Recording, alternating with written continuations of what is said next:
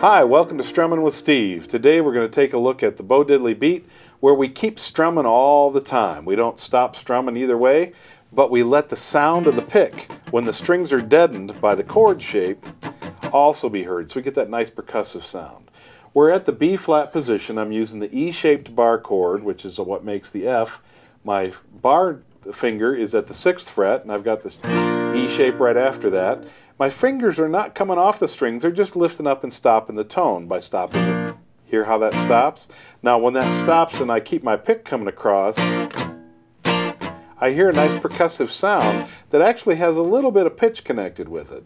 And that's what I want when I'm doing the strum in this way. Now what we're doing is coordinating the right hand, which is going across all the time, with the left hand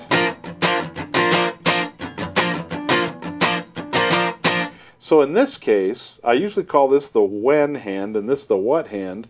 The what hand is giving us a chance to hear what we're going to hear when. Okay? Now the other thing the right hand is doing is accenting whenever we're hearing that. So there's a lot of right brain, left brain thing going on here to keep this thing keeping, keeping on, moving steadily and keeping the rhythm tight. So let's just get the Bo Diddley beat going again and then we're going to start, we're going to do it the way we did before. Then we're going to start letting our pick go across those strings even when we're not pressing down over here. One, two, three, four. Here we go.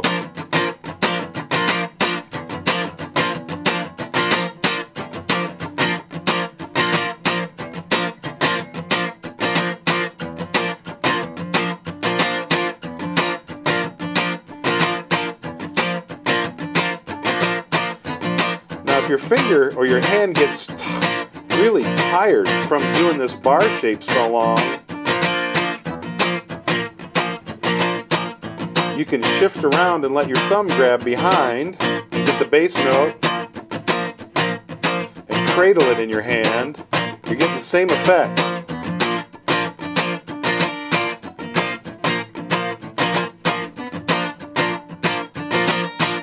But your left hand is now in charge of when we're going to hear the actual pitches ringing through.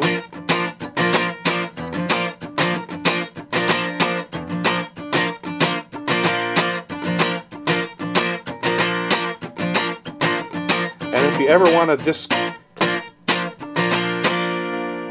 do that lift up and not hear anything in between, you can let everybody in the band know it's time we're going to finish this right now. Because once you get something going like that, it's you just get hypnotized by it, which is a wonderful thing. That's what we're looking for. We want this to become stuck in the auto automatic part of our brain, not in the I got to think about it part of our brain. Well, this is Strumming with Steve, and I look forward to seeing you next week with something else. And if you'd like to subscribe to our channel, you'll see anytime something is posted, you'll get it right in your inbox. And uh, if you really want to learn how to play guitar, come on over to jamplay.com and we'll see you there. Bye.